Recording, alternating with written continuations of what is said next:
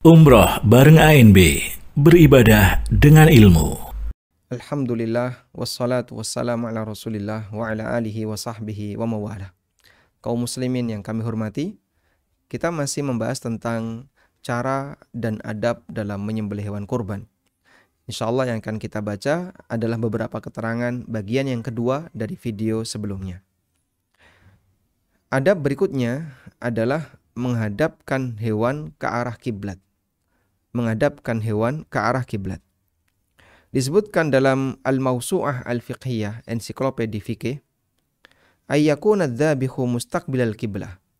Orang yang menyembelih hendaknya menghadap ke arah kiblat.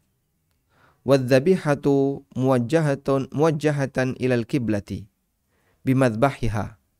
Dan hewannya juga dihadapkan ke arah kiblat di bagian yang akan disembelih. La biwajhiha bukan dengan wajahnya yang dihadapkan ke arah kiblat. Idhiya jihadur ragbah ila ta'atillah karena menghadap kiblat adalah arah ketika seseorang melakukan ibadah kepada Allah Subhanahu wa taala. Baik. Bagaimana caranya? Ya, tadi disampaikan seperti itu ya. Kita kalau mau membuat eh, apa gambaran bagaimana caranya menghadapkan hewan ke arah kiblat. Kalau ini adalah arah utara, berarti kiblat adalah ke arah mana? Anggaplah misalnya kiblatnya ke arah kanan ya, ini kiblat. Kiblatnya ke arah kanan. Baik. Yang menghadap ke arah kiblat itu yang mana? Kepala hewan, Misalnya gini. Ataukah kaki hewan? Jawabannya di madbahnya. Madbahnya adalah ini, tempat menyembelihnya. Sehingga yang dihadapkan ke arah kiblat adalah madbahnya. Tempat yang disembelih berarti kakinya yang dihadapkan ke arah kiblat. Maka menghadap kiblatnya bukan seperti ini. Tapi menghadap kiblatnya adalah madbahnya. jadi kayak bajul nih sebentar ya misalnya gini ya Afwan saya nggak pinter gambar nih. Jadi eh, kepala kambingnya dihadapkan ke depan.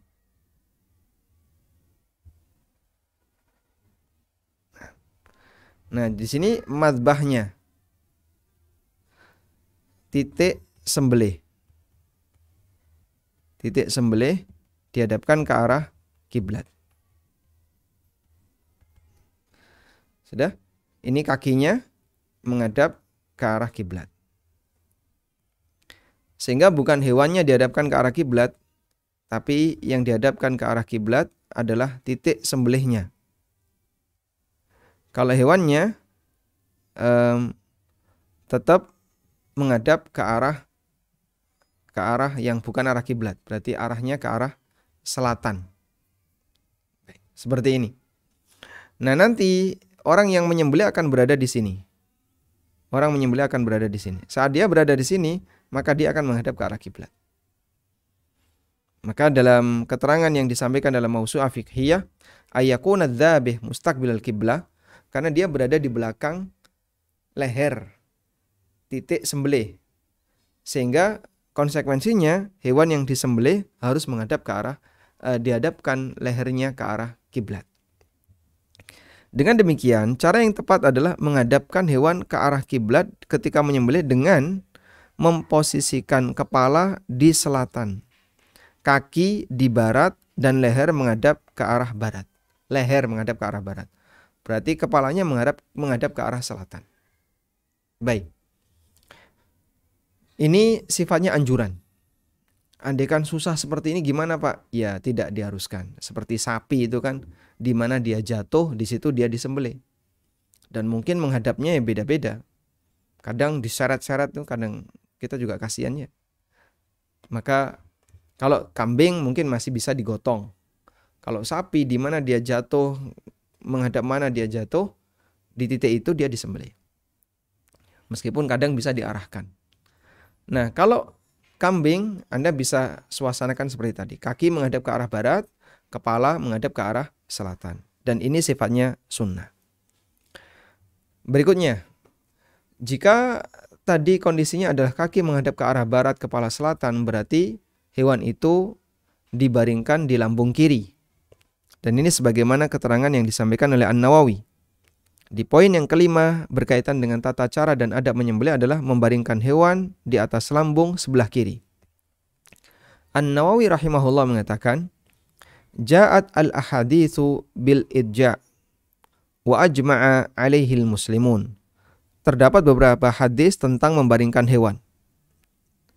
Sehingga dia tidak disembelih dalam posisi berdiri. Dan kaum muslimin sepakat dengan hal ini. Wattafaqal ulama dan ulama sepakat ala anna ijja'ad dhabiha bahwa membaringkan hewan sembelihan yakulu ala janibihal aisar dia dibaringkan di sisi kiri karena ini akan lebih memudahkan bagi orang yang menyembelih ketika dia memegang pisau dengan menggunakan tangan kanannya.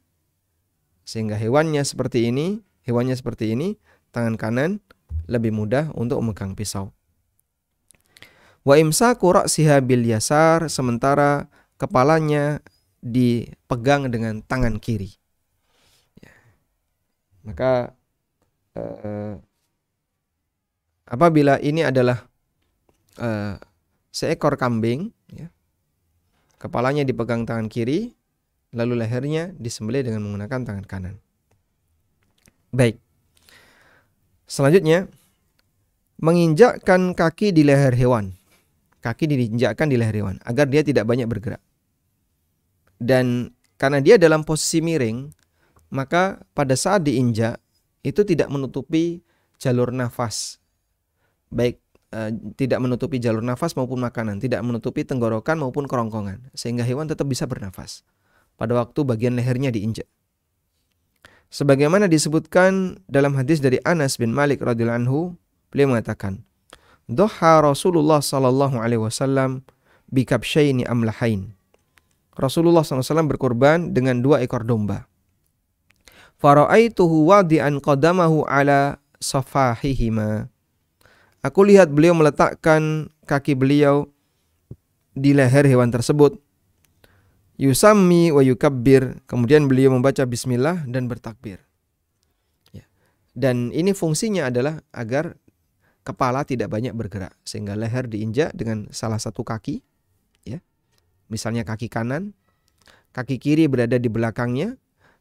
Tangan kiri memegang kepala, tangan kanan memegang pisau, kemudian disembelih sehingga dia bisa menyembelih hewan kambing sendirian. Hadis riwayat Bukhari Muslim. Kemudian adab yang ketujuh. Bacaan ketika hendak menyembelih. Beberapa saat sebelum menyembelih harus membaca bismillah dan ini hukumnya wajib menurut pendapat jumhur ulama. Dan ini pendapat yang lebih kuat. Allah Subhanahu wa taala berfirman, "Wala ta'kulu mimma lam yudhkarismullahi alaihi wa innahu lafisq. Janganlah kamu memakan binatang-binatang yang tidak disebut nama Allah ketika menyembelihnya. Sesungguhnya perbuatan itu adalah perbuatan kefasikan. Sehingga ketika menyembelih harus membaca bismillah. Selanjutnya yang nomor delapan. Dianjurkan membaca takbir Allahu Akbar. Bismillah Allahu Akbar.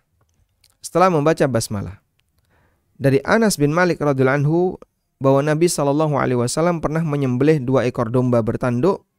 Beliau menyembelih dengan tangannya, beliau membaca basmalah wa yukabbir dan beliau bertakbir.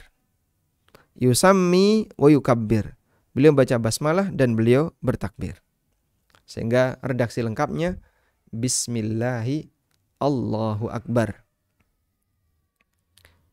Selanjutnya, pada saat menyembelih dianjurkan untuk menyebutkan nama orang yang jadi tujuan kurban. Jadi tujuan dikurbankannya hewan tersebut. Dari Jabir bin Abdullah radhiyallahu anhu bahwa suatu ketika didatangkan seekor kambing, kemudian Nabi Shallallahu alaihi wasallam menyembelih dengan tangan beliau. Ketika menyembelih beliau mengucapkan Bismillah wallahu akbar. Hadza anni wa ammal lam yudhi min ummati. Bismillah Allahu Akbar ini adalah kurban atas namaku dan atas nama orang yang tidak berkurban dari umatku. Sehingga setelah membaca Bismillah Allahu Akbar dibolehkan atau dianjurkan untuk menyebutkan ini kurban atas nama siapa.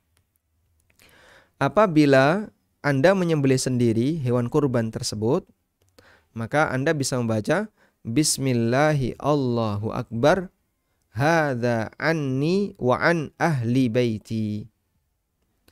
Kita tulis di sini ya. Bismillahi Allahu Akbar. Hada anni wa an ahli baiti. Bismillahi Allahu Akbar. Bismillahi Allahu Akbar. Lalu dinyatakan hada anni wa an ahli baiti. Ya Allah, ini korban dariku, ini korban atas namaku dan atas nama seluruh anggota keluargaku. Maka insya Allah Anda dan seluruh anggota keluarga Anda turut mendapatkan pahala dari kegiatan berkurban itu. Baik.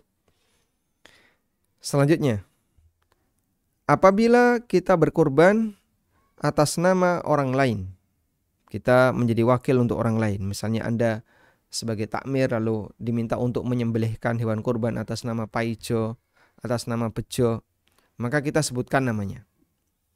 Sehingga saat kita menyembelih, Bismillah Allahu Akbar, Allahumma hadha, bisa lebih ringkas gini saja, Allahumma hadza ini adalah korban an disebutkan namanya. Namanya siapa, Pak? Ya, yang berkorban namanya siapa? Sahibul korbannya. Paijo. Bahasa Arabnya paijo gimana? Gak usah pakai bahasa Arab, tulis saja paijo. Ya. Hadza an paijo wa an ahli baitihi. Ini kurban atas nama Paijo dan atas nama seluruh anggota keluarganya. Ada an Paijo wa an ahli baitihi. Ini kurban atas nama Paijo dan atas nama seluruh anggota keluarganya. Baik. Selanjutnya boleh juga ditambahkan dengan doa. Allahumma taqabbal minni. Allahumma taqabbal min fulan. Dan ini bisa dibaca baik sebelum menyembelih atau pasca menyembelih. Dan bacaan ini sifatnya anjuran, bukan wajib, sehingga kalaupun tidak baca itu hukumnya boleh. Misalnya saya bingung ya, daripada nanti malah grogi, apalagi ini kegiatan menyembelih pertama kali, kita belum pernah, daripada nanti grogi, ya sudah, kalau begitu baca bismillah bisa? Bisa. Yang ini jangan sampai lupa.